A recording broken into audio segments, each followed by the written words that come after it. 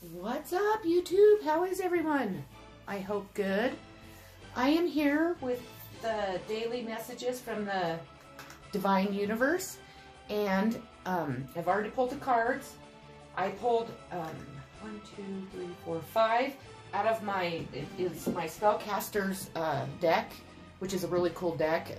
Um, in the book, after the reverse meanings of these cards, it will give you a spell for certain things that kind of relate to what the meaning of that card was. So I definitely use those spells once in a while for for good things. Of course, I don't, you know, cast spells on anything that's in a negative way because I don't want the karma to hit, you know, come back at me times three or ten or whatever it is. So um, I am going to get started. I'm going to go ahead and duck out of here so you don't have to see me. And um, I hope that you enjoyed the reading. Please like and subscribe if you haven't already.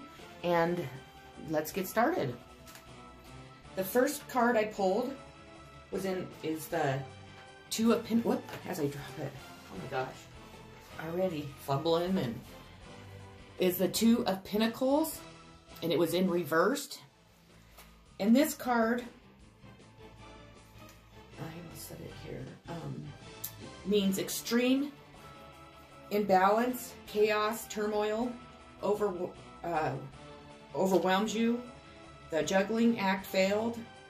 A deception is revealed. Over intoxication is a source of increasing misfortune and pain. Danger, an accident. Your current actions cannot be kept up for too much longer. A firm foundation is needed. Nervousness, exhaustion from having to manage finances stretched too thin or having to keep up with too many things at once. So it's that's definitely a warning for someone. You need to slow down. You need to um, maybe try to manage your money better. Maybe what you know if you're drinking too much or you're doing too much of something. So I would definitely pay attention to that. You know, we're all guilty of, you know, doing that. So just be aware of that. The next card that comes in is the King of Swords. And the King of Swords is a powerful person, authority, a self-assured, a well self-serving individual, a boss, a dominating or controlling person, ruling with a iron fist, one who serves the, in the military, works in law enforcement, has strength, domination, violence, and abuse are also um, related to that this card, to this King of Swords. Conflict, negativity, the strict and stern father, anger, quarrels, a show of authority, having to submit to another person's rules, government, trouble with the law, a powerful enemy, and a warning of danger. So that is definitely another warning that someone out there needs to pay attention to and um, just be aware that this person is more than likely coming into your life. So pay attention to that also. The next card I pulled was the Five of Pentacles, and it was in reverse also. And this card means a locked door is now opened, a new opportunity, avenue for success appears, charity, help is needed, extreme poverty, feeling weak, a warning to lock your, your uh, car doors and house doors, a warning not to lock yourself out. And I know it also means um, extreme, extremely bad weather, so maybe that's why it's a warning not to lock yourself out because where I live, I know that the conditions are very cold here right now, so it would be not a, probably a good thing to do that. And then it says, um, the next one I, I pulled is the Nine of Swords. This, this card's all about grief and sorrow. Um, it's grief, sorrow, the aftermath of a fight, sadness, lasting emotional pains, living with physical pain, mourning, an argument shelved, the healing process, painful experiences in the past continue to haunt you, a broken heart that resists attempts to heal, being stuck in a cycle of suffering, depression, weakness and exhaustion, disappointment. The time has come to find to finally uh, find the emotional healing necessary to allow you to be able to move forward in your life and to start enjoying life too. It's easy for us all to get kind of stuck in our, you know, our sorrows over relationships or if somebody passes away or if somebody deceives us. Um, it is really, you know, easy to be stuck in that. It's something that we, when you are in that situation, you have to try and strive for to to, you know, kind of climb your way out and, you know, to look at the positive things in life instead of all the negatives that you're feeling at that time. Um, also, if you are feeling, you know, like this, you, uh, hopefully you're not having any, any suicidal thoughts. If you are, please, please, please talk to someone, talk to me. Um, I, I'll do anything to help anyone if that, if you're in that position. And I know good resources for that also. So, and so that's really important. And that's important to me too, because everyone means something to me, even though I don't know you. Or if I do, of course, I love you. Um, the uh, last one is the Three of Pentacles.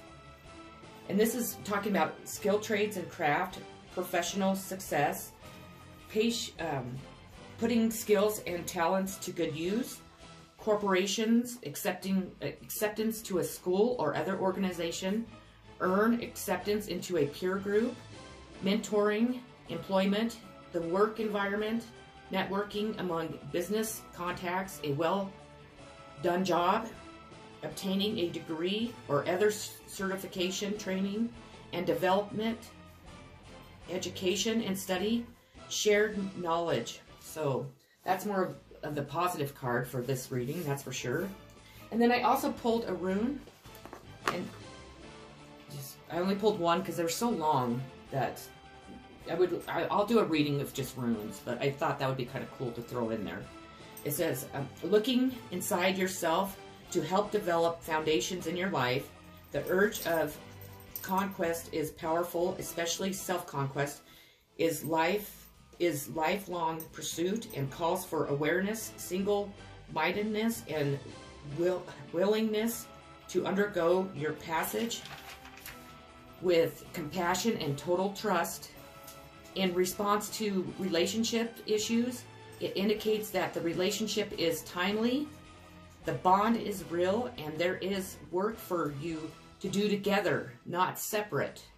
So if you are struggling in an area of your life and you just started a relationship or you're wanting to start a relationship, the universe is saying to to actually open up about that so then that person can help you or vice versa so you guys can work together to to uh, you know to work through that issue to you know have success in it or whatever the circumstances are. If the issue concerns devotion to a cause an idea or a path of conduct although at times the kind of preservation calls for lots of patience. So you know, everything that we do in life, we really need to have patience with, with the people around us, with our jobs, with our, you know, with our, our ideas, with the foundations that we're trying to build in our lives. You know, anything that we, we are doing in life, we need to have patience. I know that we all want everything to happen right now, and unfortunately, not everything can come to, you know, come together like that. So we just have to learn to have patience and you know, you have that in, annoying employee that, or, you know, co-worker that you have to work with that you just cannot stand. You just have to have patience with them. Or if somebody's going through a rough time and say they, they're not really talking to you or, or they're not wanting to be part of your life, maybe give them some time and have patience to see if they come around. Um, if your friends are kind of being shits or, you know, your spouse or your boyfriend or girlfriend, you know, just try and have patience with them and definitely have patience with yourself because we're all on this journey of life. We're all living and learning and, you know, we have disappointments and sorrows and we have, you know, extreme happiness and, you know, and some of us are sick and some of us aren't and, you know, so on. we just need to learn to have patience. We need a lot more patience and love in this world, is my motto, and I really, really try to push that. I am, I, I think I'm a pretty patient person in some areas, and then in some areas I'm, I'm definitely not. So I'm definitely trying to work on that. Um, just, you know, do everything with unconditional love in your heart, believe in love, and we can make this world a better place. We can help each other work through the bad things that happen to us, you know, the, when we have a broken heart, if somebody leaves us or you have rejection or whatever it is, we just really need to to work together to, you know, boost each other's confidence and self-esteem and show love towards each other so we know that we really are doing something that is fulfilling and, you know, also doing something for others in life instead of just focusing on ourselves as the main thing um, I know people are like, well, no, that's just the way the world is. Well, that's what I think that we need to change. We need to change that with love and understanding and patience for sure. Well, I sure hope that you all have a great rest of your day. I hope that you enjoyed this. oh, wait, wait, wait, wait, wait, wait. Before I'm already going to say goodbye, and I have two more cards. These are from the the messages from the universe deck that I have, and I love this deck. It says, time to make a demonstration the older the soul, the softer the glance, the quicker the smile, and the sooner to say, I love you. They also skip and wink more than normal and hold hands with those they walk beside. Utterly fearless, the universe. And then I'll turn around. These messages I just love. And then the last card for sure is There isn't a soul on the planet who doesn't crave your approval. The only difference between a friend and a foe is that you've decided where love can grow. And it says the universe.